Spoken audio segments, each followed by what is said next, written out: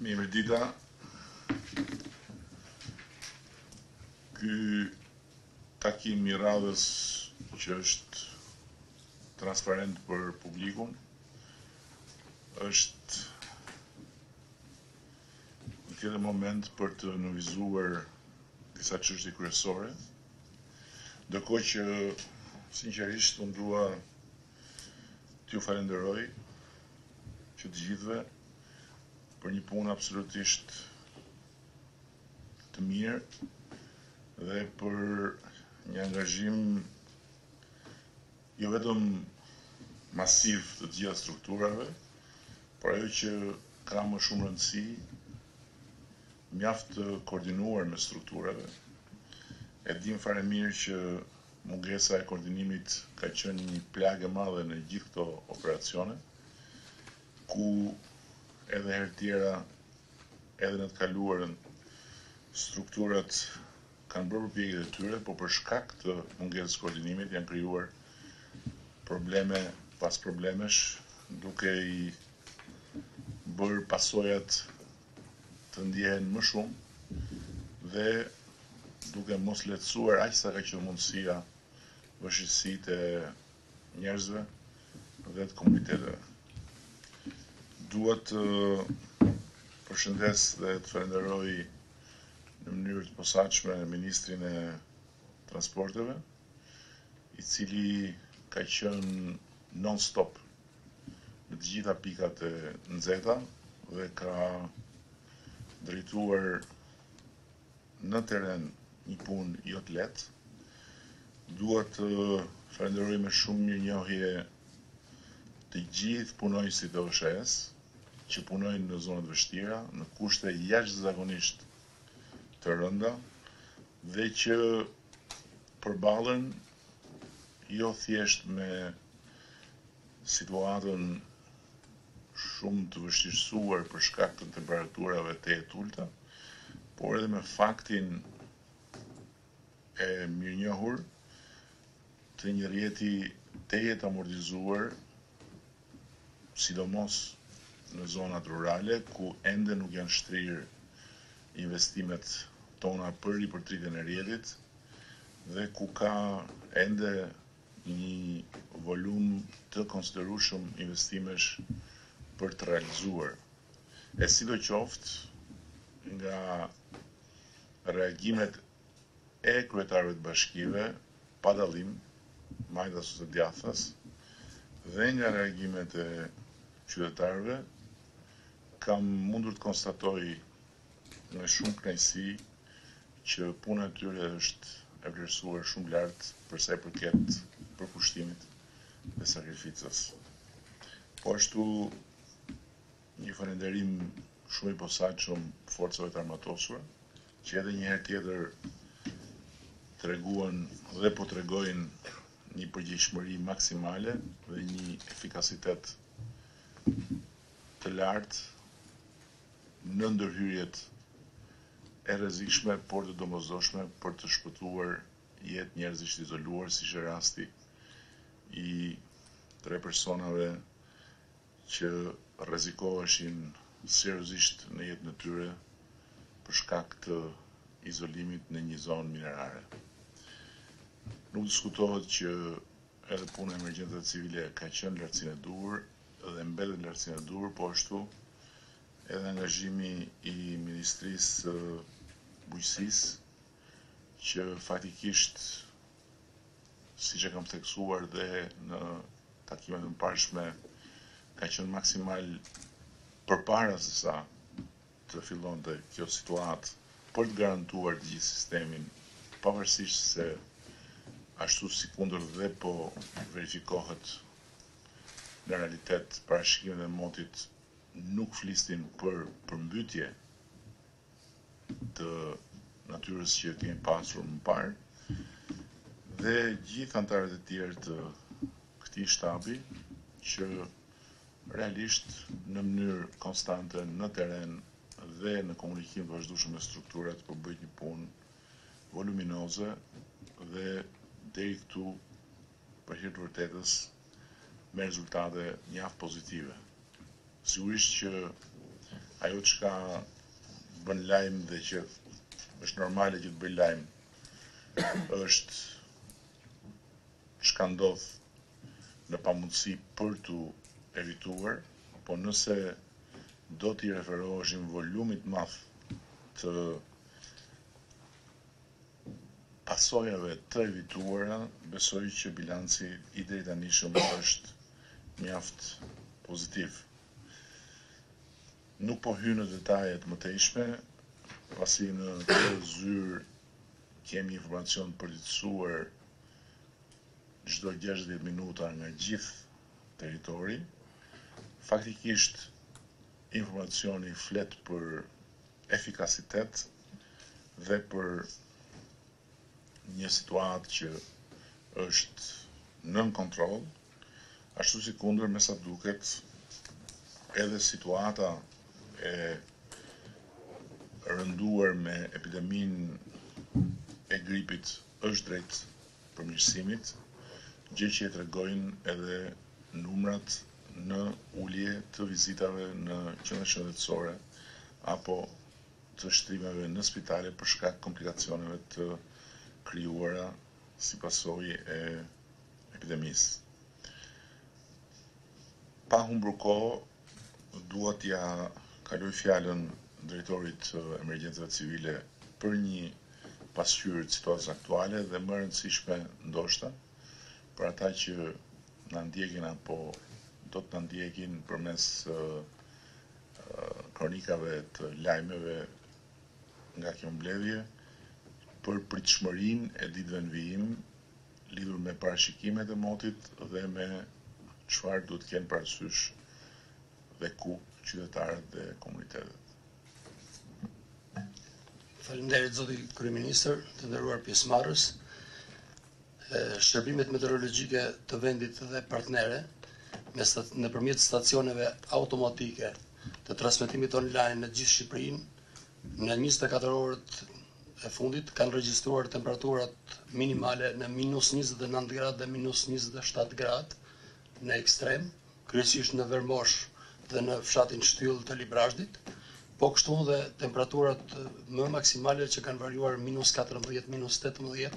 në Peshkopi dhe në Kukës e në Pukë. Temperaturat në perëndim dhe në bregdet kanë variuar minus 4 dhe minus 9 në ekstremet, çka tregon se i ftohti ka dalë përtej parashikimeve të ditëve më përpara, Dhe edhe pse në ditët në vazhdim do të ketë një rritje të temperaturës në vlerat dy deri në tre gradë Celsius, përsëri do të jetë në vlerat minimale çka do të thotë që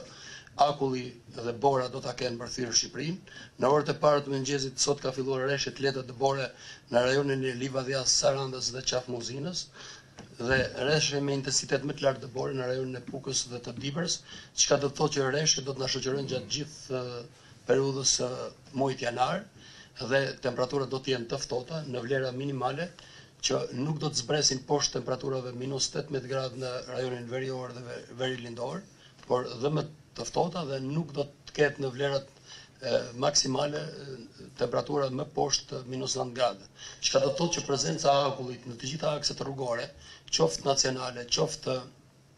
rurale do të jetë, prandaj dhe duhet që edhe qytetarët, edhe strukturat e pushtetit vendor,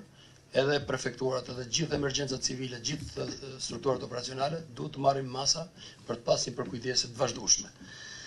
Normalisht, sot ka filluar pas hapjes gjithë rrugët nacionale, që aktualisht konsiderohet të gjitha rrugët nacionale të hapura, kemi 13 akse rrugore që lidhin qendrat administrative me njësitë administrative Më në veri të Shqipërisë që janë ende të pahapura po po punohet, ndërkohë në këto zona po operohet nëpërmjet mjeteve, strukturave operacionale të ushtrisë dhe të emergjencave civile për dërgimin e ndihmave ushqimore në veshmbathje dhe mjete për fjetje, po dërgohet me operacione nga ajri. Ndërkohë që ministri i Brendshëm aktualisht ndodhet në një dhe me gjithë një ekip të emergjencave civile dhe të rezervës materiale të shtetit për shpërndarjen e, di, e ndihmave në të gjitha njësitë e qeverisë vendore të qarkut Dibër dhe të bashkive, kryesisht për zonat e izoluara dhe pastaj nga vendi i grumbullimit të ndihmave do të shpërndahen me mjete aerore dhe me mjete të kalueshmërisë së lartë. Përgjithësisht situata konsiderohet me një menaxhim shumë të mirë, koordinimi i strukturave të emergjencave civile duke filluar nga bashkitë në prefektura dhe strukturat qendrore, Ka qenë një koordinim shumë i mirë dhe ashtu siç u tha edhe nga ana juaj janë zhvilluar disa operacione të vështira për shpëtimin e jetëve njerëzore në rajonin e Ballët i Ballës Pukës për njerëzit që kanë kërkuar ndihmë. Ndërkohë strukturat e emergjencave civile po i përgjigjen çdo kërkese të kryetarëve të bashkive në dhe të prefekteve për t'u çuar ndihmë atje ku kërkojnë njësitë e qeverisë vendore për familjet e izoluara. E parë në këndvështrimin e menaxhimit të situatave emergjente, vlerësohet në vlerat pozitive, por gjithsesi mesazhi duhet të jetë që gjatë gjithë këtij muaji ne përsëri duhet të marrim masa për të pasur rezerva materiale ushqimore, veshmbathje, por edhe pse jo të mjeteve për të përballuar mbajtjen hapur të gjitha akseve rrugore si mjeti më i mirë për t'u shkuar në ndihmë familjeve dhe zonave në nevojë. Faleminderit. Faleminderit zoti drejtor. Po ia jap fjalën për një përditësim edhe për porosi përkatëse ministrit të Transportit, duke pas parasysh edhe faktin që me shqetësim kemi konstatuar në mënyrë të përsëritur që vendosja e zinxhirëve për automjetet nuk është uniforme, gjë që të gjithë qytetarët duhet ta kenë parasysh, pasi për shkak të mungesës së zinxhirëve mund të bëhen shkaktarë të aksidenteve që mund t'u rrezikojnë seriozisht jetën e tyre dhe jetën e shumë njerëzve të tjerë në akset rrugore, duke provokuar rrëshqitje që mund të jenë deri dhe vdekjeprurëse. Zoti ministër, fjala është për ju. Faleminderit zoti kryeministër, unë do ta filloj pikërisht nga kjo e fundit që ju sapo thatë, me një apel të përsëritur gjatë gjithë këtyre ditëve ndaj gjithë qytetarëve dhe gjithë atyre që qarkullojnë me makinat e tyre apo me çdo lloj mjeti tjetër, ju lutem, ju lutem, ju lutem përdorni zinxhirët dhe në vazhdimësi ndiqni informacionet dhe sugjerimet dhe këshillat që japim për kalueshmërinë e rrugëve. Sepse jo thjesht është çështja vetëm tek aksidentet, po bllokimi i një makine pa zinxhir në një aks problematik të rënduar prej situatës së ngricave apo të borës, e bën shumë të vështirë ndërhyrjen e mjeteve të pastrimit, të mjeteve të mirëmbajtjes dhe padyshim pastaj krijon ato radhë të gjata dhe me problematika shumë të shtuara për qytetarët. Kështu që ky është apeli i përditshëm dhe i vazhdueshëm që duhet të bëjmë në këtë drejtim dhe në këtë rast besoj që në një koordinim akoma dhe më të mirë me policinë rrugore nuk duhet të lejojmë të kalojë asnjë mjet Për çfarëdo lloj arsye i papajisur me zinxhirë apo me me gomat përkatëse sepse pastaj situata del jashtë kontrollit dhe bëhet shumë problematike për të për për të pasur ndërhyrjen ndërhyrjen e nevojshme, sikurse është aktualisht edhe një një rast në aksin Qafë e Malit Fierzë Tropojë, ku një makinë e vogël praktikisht duke Qenë se ka filluar dhe bora, ka kaluar pa zinxhir, ka mbetur pak aty dhe po ndërhyhet për ta për ta zgjidhur për ta zgjidhur situatën. Por përgjegjshmëria e qytetarëve dhe e drejtuesve të mjeteve në reflektimin ndaj këtij apeli është shumë shumë e rëndësishme për të na ndihmuar të gjithëve për të bërë për të bërë sa më mirë punën tonë dhe për ta përballuar sa më mirë këtë situatë. Në vija të përgjithshme, situata e kalueshmërisë së akseve nacionale është ajo që këtu u tha, Padyshim që ka problematikë në vend sepse edhe situata është e tillë. Ka prezencë bore, ka prezencë ngricash, erëra të forta, temperatura shumë të ulëta që e bën akoma edhe më të vështirë menaxhimin e situatës. Gjithsesi, gjithë infrastruktura përkatëse për mirëmbajtjen e rrugëve është është në gatishmëri, janë përsëritur, ripërsëritur, verifikuar, riverifikuar dhe kontaktuar në mënyrë të vazhdueshme të gjitha kompanitë e mirëmbajtjes së rrugëve. të cilat në përgjithësi kanë bërë një punë të mirë, por që vend e vende ka ka padyshim nevojë për t'u përmirësuar, por që gjithsesi besoj që në përfundim të këtij operacioni emergjence, mbasi kjo kjo situatë të kalojë, ne do duhet që të bëjmë një analizë akoma edhe më të gjerë për të përmirësuar sa më sa më shumë edhe mënyrën e funksionimit tonë të përbashkët në të ardhmen. Për sa i takon akseve akseve nacionale, pak a shumë situata është ajo që u përmend, akset e veriut mbeten problematike, Akset e Shqipërisë Mesme dhe Shqipërisë Jugut janë të gjitha të kalueshme pa pa pa pa probleme. Për sa i takon transportit ajror, situata e aeroportit të Rinasit, por edhe ajo e Kukësit në rast të ndonjë emergjence të veçantë që do të ketë nevojë për po themi për dislokim helikopterësh apo mjete të të natyrave tjera, është në monitorim dhe në kontroll të plotë, është është në gjendje pune optimale. Situata e porteve gjithashtu është është optimale. Ka lindur një problematikë për shkak të temperaturave shumë të ftohta me ujësjellësat, jo me ujësjellësin në si si si po themi si si institucion, por me me tubacionet me tubacionet e ujësjellësave, sepse vende vende kanë ngrirë dhe kanë krijuar problematika të tjera. Gjithsesi situata po monitorohet vazhdimisht në mënyrë të vazhdueshme dhe po bashkëpunohet me gjithë institucionet, pushtetit vendor, pushtetit qendror, emergjencat civile, policinë e shtetit për ta përballuar me sa më shumë efikasitet dhe sukses dhe për t'u ndodhur sa më pranë qytetarëve. Gjithsesi duhet ta përfundoj aty ku e nisa. Ju lutem, ju lutem, ju lutem. Përdorni zinxhirët dhe Mos u nisni nëpër udhëtime në zona të vështira pa ndigjuar më parë apo pa reflektuar më parë porositë që ne ju japim, sepse menaxhimi i situatës bëhet akoma dhe më i vështirë në qoftë se juve a qytetarët nuk nuk i përgjigjen këtij këtij apeli. Faleminderit. Shumë faleminderit zoti ministër edhe një herë respekt për gjithë përpjekjen që po bëni. Do doja një paraqitje të përmbledhur të ministrit të energjisë, i cili dje ka qenë në terren në zonën e Kukësit, ku faktikisht është regjistruar një përmirësim thelbësor i një situate vërtet dramatike të krijuar për shkak të siç e thamë, rrjetit shumë të amortizuar të shpërndarjes së energjisë dhe ku tani më për momentin të paktën furnizimi me energji është masivisht i përmirësuar dhe faktikisht nëse do t'i referohesha një një shifre konkrete jemi nga Afro pesëmbëdhjetë mijë abonentë të mbetur pa energji elektrike në momentin fillestar, në disa qindra abonentë, edhe kjo për shkak, e përsëris, të një rrjeti totalisht disfunksional që është mbi dyzet e ca vjeçar, ku nuk është vënë dorë dhe ku faktikisht, Me gjithë investimet masive të nisura falë rimëkëmbjes së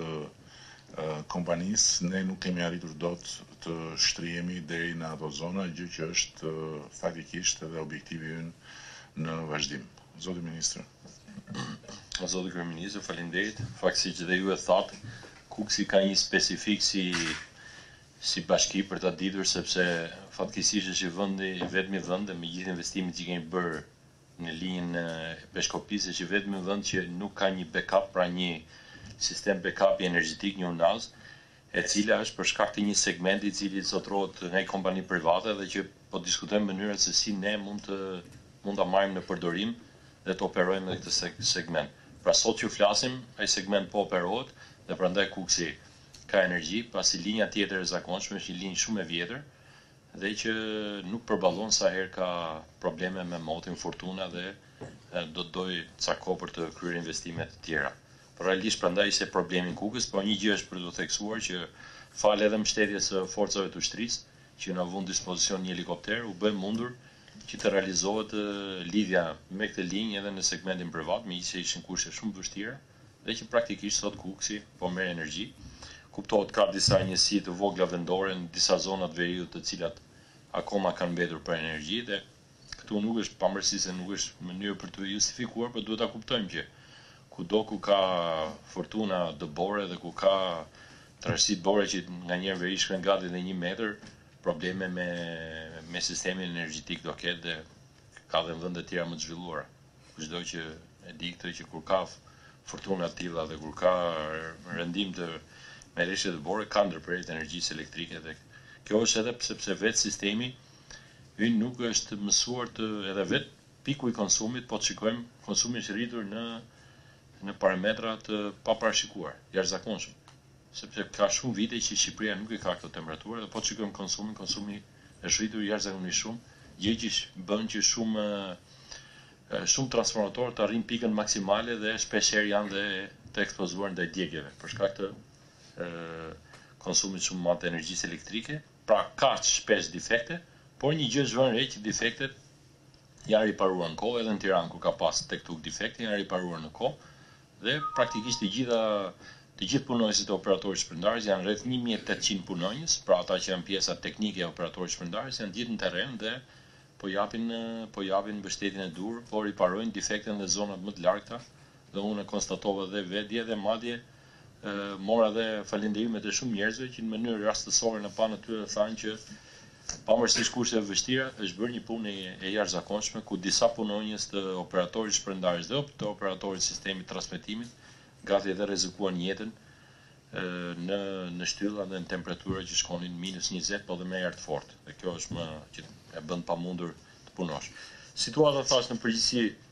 Është duke u përmirësuar, janë duke u monitoruar të gjitha defektet dhe po ndërhyhet për riparimin e tyre. Mendoj që dhe në ditët e ardhshme mund të ketë ndërprerje tek tuk pra në në vende të izoluara apo për në për shkak të një të ndonjë defekti,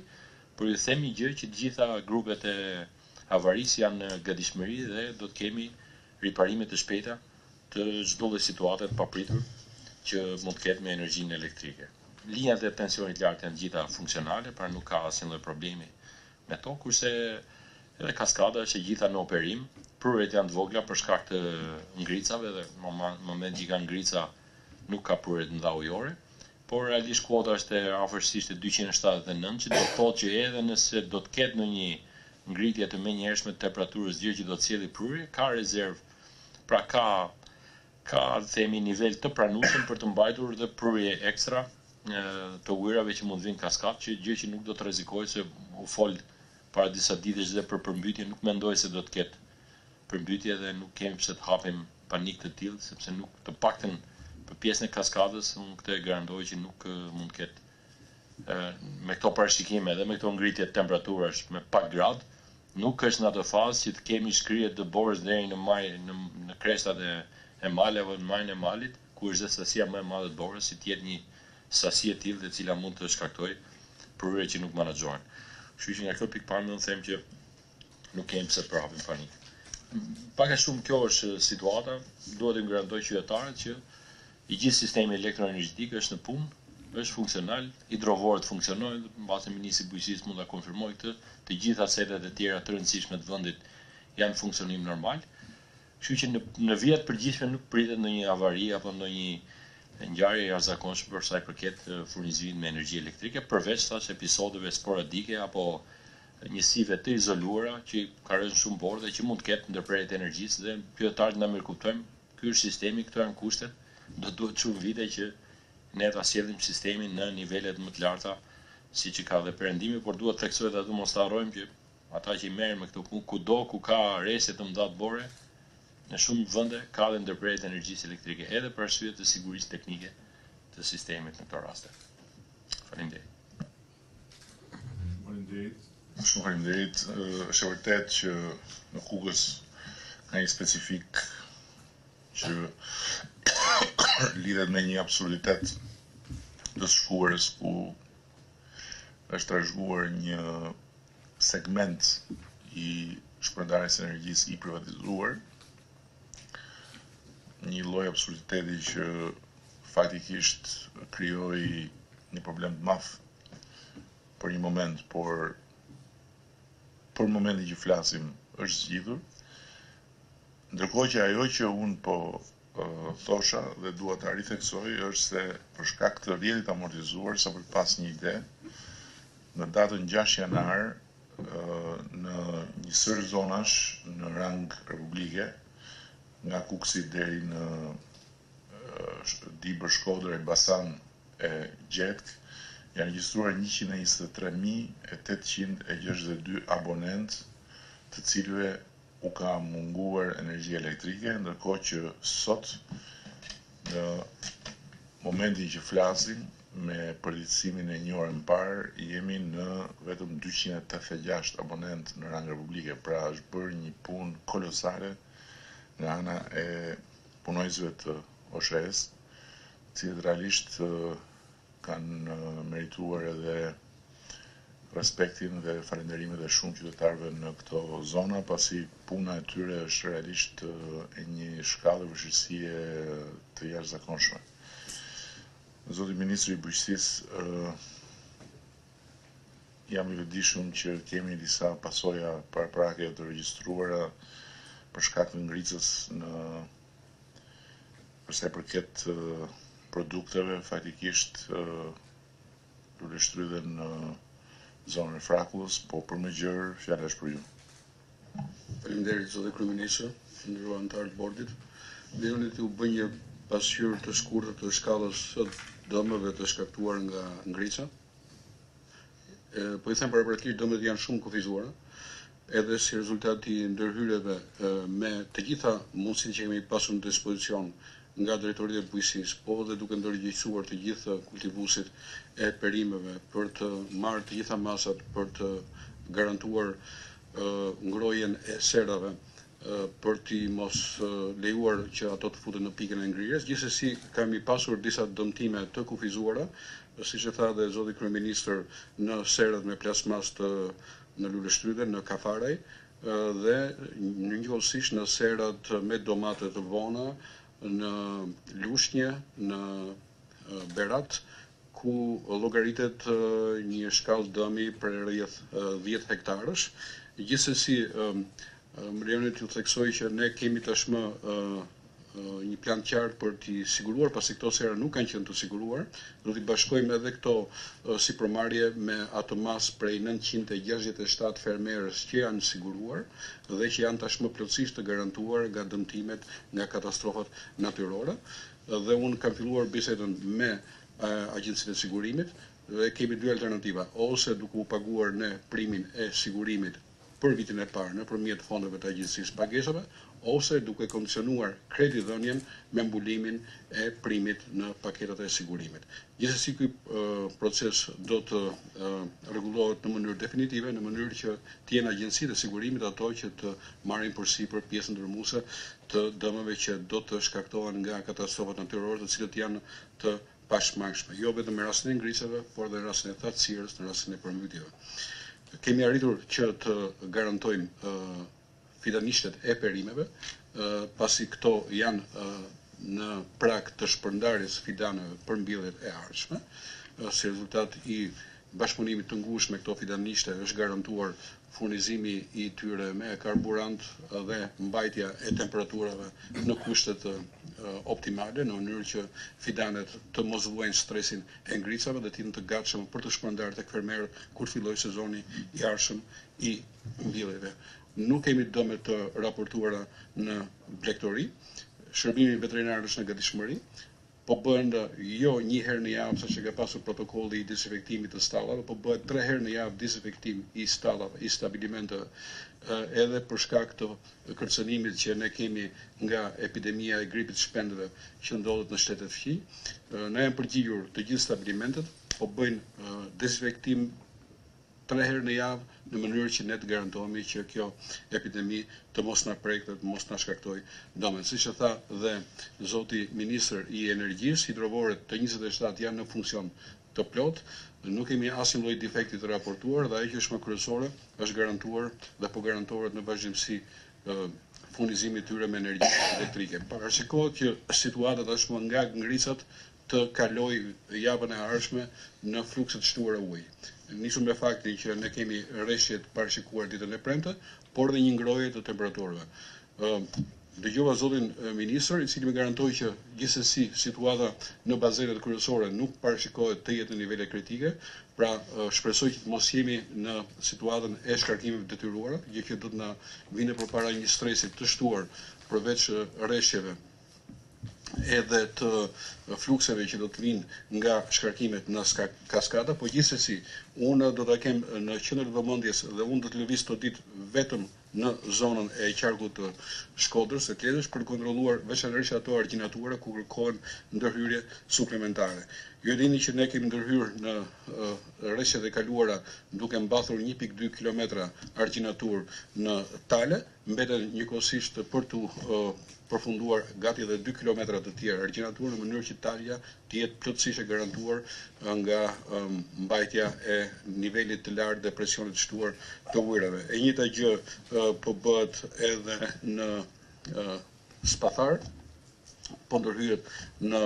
Bardhaj, njëkohësisht edhe në Darragjat mbeten njëkohësisht sfida për të avancuar me mbathjen e argjinaturës, për të cilat deri tani është bërë një punë e mirë dhe janë mbathur rreth një pikë dy kilometra të kësaj argjinaturës. Po mbeten njëkohësisht tre pika të cilat kërkojnë ndërhyrje emergjente. Në këto kushte, Bordi i Kullimit të Shkodrës më ka bërë një kërkesë për të përdorur me urgjencë një pjesë të fondeve të vaditjes për të ndërhyrë në këto pika kritike, në mënyrë që në eventualitetin e rritjes së nivelit të ujërave dhe të presionit të tyre, ne të garantojmë që nëpërmjet ndërhyrjes së projektuar në këto tre pika të minimizojmë, pse jo dhe të eliminojmë dëmet e pritshme në toka bujqësore në biznese dhe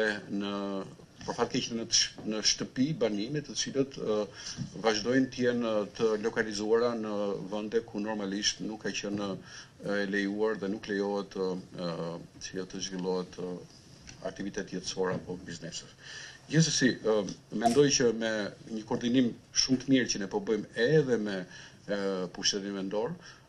Me kryetarët e bashkive unë jam vazhdimisht në kontakt. Ata vazhdojnë të punojnë në mbajtjen hapur të kanaleve të dyta dhe natyrisht edhe punimet në basenet që kanë shtrirje territoriale. Jam i bindur që do të arrijmë të bëjmë më të mirën për të përballuar situatat e pritshme të rënduara të motit dhe të përmbytjeve. Faleminderit. Shumë faleminderit zoti ministër. Pa humbur kohë, Një përmbledhje sintetike nga ana e Ministrisë së Shëndetësisë lidhur me situatën paralele me çfarë folëm deri tani që ka të bëjë me gripin. Faleminderit kryeministër. Atëherë situata vazhdon të jetë në nivele të larta të përhapjes së epidemisë, edhe pse tendenca është frenuar. Ne kemi filluar që para disa ditësh edhe me shpërndarjen e vaksinave në gjithë vendin. Kemi shpërndarë rreth nëntëdhjetë e tre mijë doza vaksine dhe deri mbrëmë janë aplikuar njëzet e dy mijë prej tyre. Vazhdojmë edhe në ditët në vijim. Jemi përpjekur të bëjmë aplikimin e vaksinës në të moshuarit që janë në institucionet rezidenciale, në fëmijë që vijnë nga komunitete të cilat nuk kanë shumë akses në shëndetësi, komuniteti rom, si dhe të Këshillojmë dhe kemi filluar të zbatojmë që personeli infermieristik ka shkuar dhe ka bërë vaksinën edhe të moshuarit të cilët nuk mund të lëvizin dot drejt qendrave shëndetësore. Ditën e diel qendrat shëndetësore të gjithë qyteteve kryesore të vendit kanë punuar, kanë pritur fluks të sëmurësh qoftë fëmijë qoftë të rritur. Në dhjetë, nëntë ditët e para, autoambulancat kanë bërë gjashtë mijë e treqind misione, janë njëzet e katër fluturime ajrore për njëmbëdhjetë persona, por këtu duhet të evidentoj faktin që një pjesë e nevojave tona është plotësuar edhe nga helikopterët e Forcave të Armatosura. Kemi ndjekur në vijimësi edhe situatën e zbatimit të urdhrave për moskryerjen e procesit mësimor, dje kemi ekzekutuar katër masa administrative për disa institucione në Vlorë, Berat dhe në Tiranë, të cilat kishin thyer urdhrin, edhe një herë dua të bëj me dije publikut që fakti që ne nuk duam të ketë proces mësimor lidhet nga nevoja për të shmangur grumbullimet. Nuk ka të bëjë fare nëse në një shkollë ka kushte më të mira se sa në një shkollë tjetër. Grumbullimi i njerëzve është një nga shkaktarët kryesorë të përhapjes së virusit dhe prandaj ne si shëndetësi kemi kërkuar që të shmangim grumbullimet duke mos zhvilluar proces mësimor edhe pse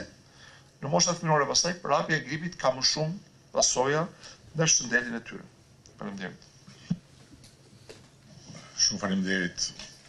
zoti ministër, është e qartë. Atëherë edhe një herë duke Ju falenderuar natyrisht që shumë kush mund të thotë thjesht detyrën po bëjmë, është e vërtetë, por është po ashtu e vërtetë që në këto kushte kur detyra kërkon një angazhim të veçantë, edhe falenderimet janë me vend kur pasojnë një angazhim kaq konkret dhe kaq efikas të një strukture të tërë gjë për të cilën kemi punuar prej kaq kohësh për ta kthyer në një ingranazh që funksionon i koordinuar, pasi mungesa e koordinimit ka qenë ajo që ka shkaktuar pasoja mbi pasoja dhe të panevojshme ose të evitueshme në të kaluarën, Ashtu sikundër patjetër, siç u nënvizua edhe këtu, me kapërcimin e kësaj situate, ashtu siç bëmë edhe për përmbytjet e fundit, do të ulemi përsëri për të folur konkretisht për çfarë nuk ka funksionuar ashtu siç ne duam, ku është e nevojshme të bëhen korrigjime të mëtejshme të mekanizmit, në mënyrë që edhe Shqipëria të ketë më në fund një mekanizëm reagimi shtetëror në kushte emergjence të standardeve normale të rajonit tonë, ku është e qartë edhe në këtë aspekt kemi trashëguar një prapambetje historike dhe vërtet një situatë për t'u riorganizuar e gjitha nga e para. Shumë faleminderit dhe vazhdojmë punën intensivisht. Terreni është zona e operacionit tonë, prandaj duke ju nxitur që prania në terren të vazhdojë të mbetet me intensitet të lartë e të gjitha ju dhe nuk diskutohet dhe e strukturave, Le të shikojmë si do si do të vazhdojë ecuria e situatës me të dhënat respektive dhe nëse do të jetë nevoja do të mblidhemi përsëri për një komunikim tjetër me qytetarët në orët apo në ditët në vijim. Shumë faleminderit.